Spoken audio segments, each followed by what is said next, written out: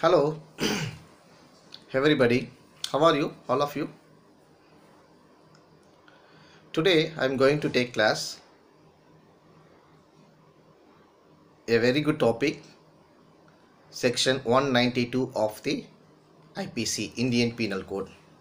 Okay, this is also very interesting section of Indian Penal Code. This is fabricating false evidence. Fabricating. Okay. So many people are fabricating false evidence and escaping from his own offense also. But law will punish automatically. Okay. Nobody escape. This is what I am saying. Okay. All the viewers, all the students, what is your ambition? After you are completing llb degree then you are going to practice in court. Okay. What will happen? So first you must thorough your subjects. Then only you can apply your knowledge as per your client. As per your methodology and technique is very important. Without techniques you cannot able to shine in your profession also. So this is my kind advice to all. You must read and take any latest judgment and uh, citation and all reference books. Daily you can read it. Then you shine. Without reading it will be automatically memory also loss. Okay? So we'll go to subject section 192 of indian penal code explain about fabricating false evidence. So here whoever cause any circumstance to exist or makes any false entry in any book or record or electronic record or makes any document or electronic record containing a false statement intending that such circumstance false entry or false statement may appear in evidence in a judicial proceeding or in a proceeding taken by law before a public servant as much or before an arbitrator. Arbitrator means arbitration. Okay. And that such circumstance false entry or false statement so appearing in evidence may cause any person who in such proceeding is is to form an opinion upon the evidence to entertain an erroneous opinion touching any point material to the result of such proceeding is said to fabricate false evidence. Okay this section is clearly indicated. Okay? So what will happen? We'll see the illustration. Then we'll easily understand.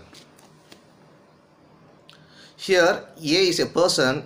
A makes makes a false entry in his shop book. Because for the purpose of using it as corroborative evidence in a court of justice here a has fabricated false evidence as per the section 192 of the IPC okay. And another illustration a is a person a with the intention of causing z to be convicted of a criminal conspiracy. Criminal conspiracy. Writes a letter in imitation of z and writing purporting to be addressed to an accomplice in such criminal conspiracy and puts the letter in the place which he knows that the officer of the police are likely to search. Now here A has fabricated false evidence. Now it's clear is very very clearly indicated in this illustration. So as per the section 192, the wording of this section is so general as to cover any species of crime which consists in the endeavor to injure another by supplying false data upon which to rest a judicial decision. Here, let's see the ingredients of the section 192. Three ingredients. What are all? Number one, causing any circumstance to exist or making any false entry in a, any book or record or making any document containing a false statement. Number two, doing one of the above acts with the intention that it may appear in evidence in a judicial proceeding or in a proceeding taken by law before a public servant or an arbitrator. Public servant here, police officer, any other investigation officers. Okay, arbitrator in arbitration area. Number third one, doing such act with the intention that it may cause any person who in such proceeding is to form an opinion upon the evidence of to entertain an erroneous opinion touching any point material to the result of such proceeding. Okay, from a careful reading of section 192 IPC, what transpires is that whoever forges a document containing false statement or false entry intending that such false entry or false statement may appear in evidence in a judicial proceeding or in a proceeding taken by a law before, before a public servant. As such so appearing in evidence may cause any person who in such proceeding is, is to form an opinion upon the evidence to entertain an erroneous opinion in such proceeding he is said to fabricated false evidence. So these three ingredients is available. So here judicial proceeding judicial proceeding. What is the meaning of judicial proceeding? Ju- we just clarify. Okay.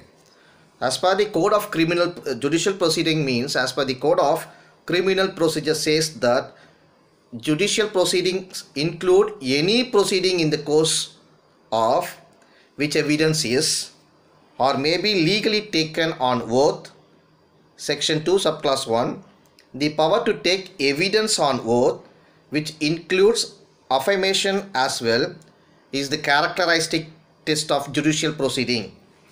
So judicial proceeding means nothing more or less than a step taken by a court in the course of administration of justice in, in connection with a case. Execution proceedings or judicial proceedings. Okay, EP cases. It is not essential that there should be any judici- judicial proceeding pending at the time of fabrication. It is enough that there is a reasonable prospect of such proceeding having regard to the circumstance of the case and that the document in question is intended to be used in such proceeding also. This is basic and elementary that the final judge of the genuineness, correctness and validity of a document used as evidence in a suit is, is the civil court. Okay. Hence, it is for the court dealing with the partition suit between the parties to examine and test the genuineness of the Sharatnama. Okay.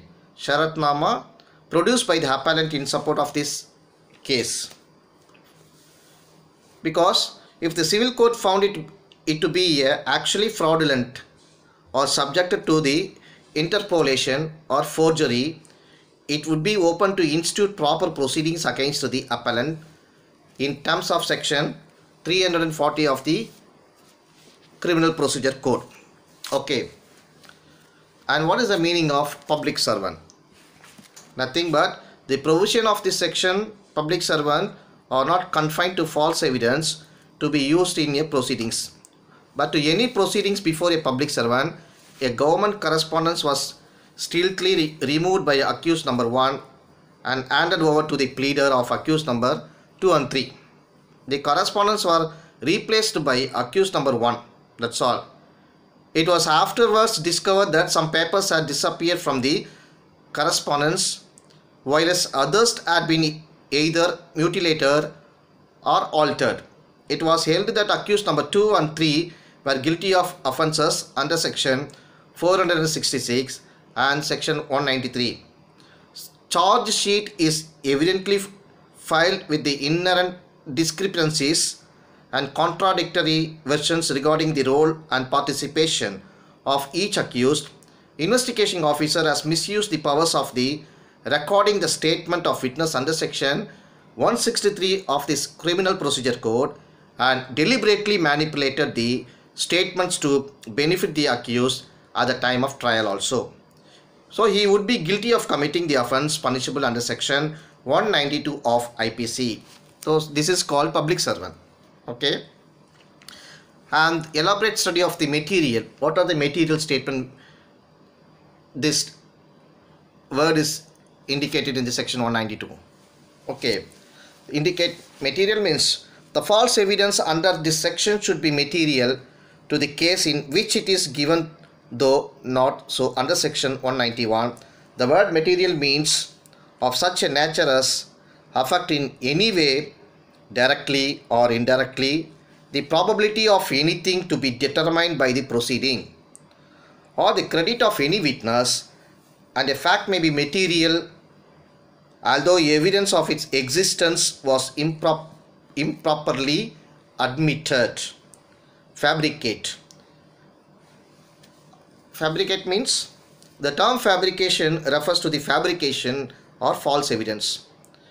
And if the evidence fabricated is intended to be used in a judicial proceeding the offense is committed as soon as the fabrication is complete.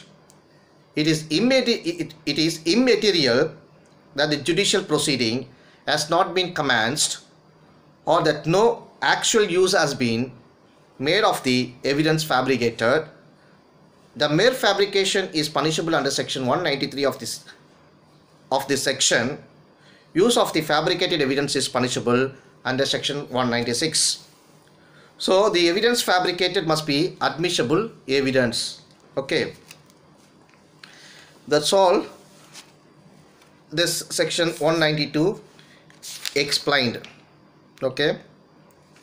We'll move to next section and next video class. I think now it clear. We already discussed section 191 192 193 also.